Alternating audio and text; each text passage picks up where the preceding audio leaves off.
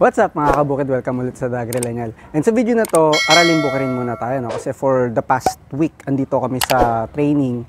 May inatinan kaming um, uh, training on uh, participatory pa- participatory guarantee system. And i-discuss ko yan sa inyo mamaya.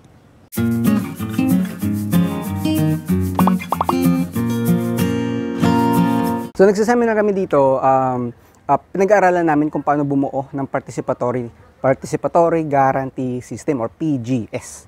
Ayan. Pero bago natin himayin ng mas uh, detalyado kung ano ba yung PGS na yan, uh, bigyan ko muna kayo ng background patungkol sa organic certification.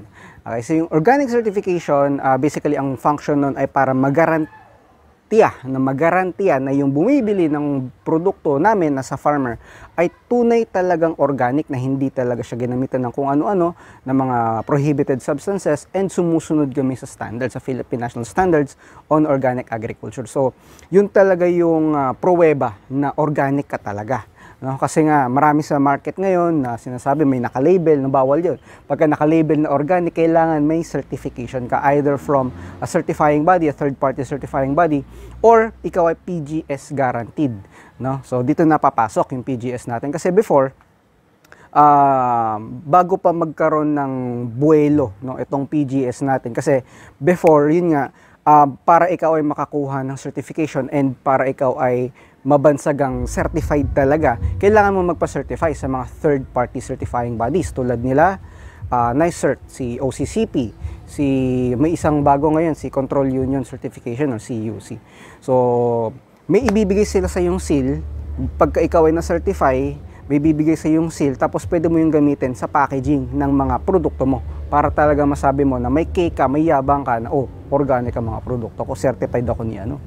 Yon. So before yon, no, bago ka ma-certify, kailangan mo maging third party certified. Uh, certified, third party certified and medyo magastos po 'yun. no, para um, kung magkano, kung magkano certification, sabihin ko at the end of this video kasi medyo malaki nga.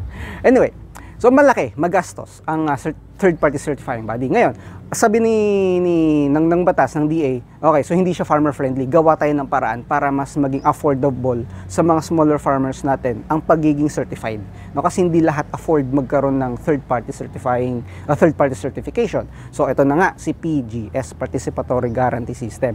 Basically, kasi meron tayong tatlong degree ng certification. First degree, second degree, third degree. Yung binabanggit ko kaninang third party certification, si third degree. Ibig sabihin, may isang institution or isang company na mag inspect sa farm mo, bibigyan ka ng stamp or seal na, o sige nga, uh, o sige na, uh, organic talaga yung mga produk produkto mo. Yung second degree, ayan, dito papasok si PGS, Participatory Guarantee System. Ibig sabihin, may peer-to-peer, -peer, no?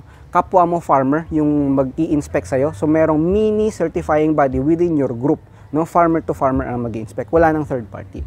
And yung first degree na certification, ikaw as a farmer, sinasabi mo na organic talaga ang produkto ko. Sa'yo mismo nang gagaling. Yun yung first party. And yung PGS an example of a second degree certification. Kasi before, hindi hindi nire-recognize na on a national level kapag ikaw ay PGS guaranteed, no? kapag uh, member ka ng isang PGS certifying body or group, um, yung produkto mo, within local market mo lang pwedeng ilabas or tawaging organic. Okay, so halimbawa kami, Laguna, ako ay PGS certified or PGS guaranteed. Yung produkto ko na guaranteed organic, hindi pwedeng lumabas sa Laguna. Okay, yun yung malaking difference. Ngayon, sa bagong batas, yung RA 11511, recognized na pwede mo nang ibenta all over the Philippines. Kahit saan ka galing, pwede mo siyang tawaging organic. Kung ikaw ay PGS, uh, ah, guaranteed. Okay? So, yun yung isang malaking difference doon. So, imayin na natin, ano po ba yung mga advantages ng Participatory Guarantee System or ng PGS? Number one, unahin na natin, mas mura siya. Kasi nga, nabanggit ko kanina, no, medyo may kamahalan. Kaya ito na nga, ang PGS po, uh, ang, ang third party certification ay depende po, no, depende sa certification, sa certifying body na magsa-certify sa inyo. Pero kung kayo po ay magpapa-certify, um, per scope po kasi yon per scope. Ibig sabihin, ang crops, isang scope. Ang animal production, isang scope. Ang processed products, isang scope din yan. So, per scope ang bayaran.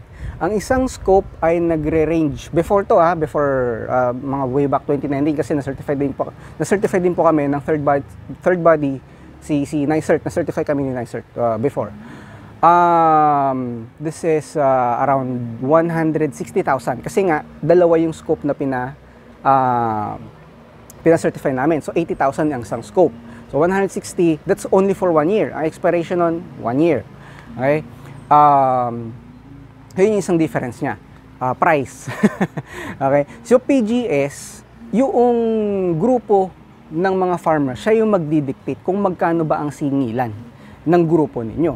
No, it can range from between 20 to 40,000.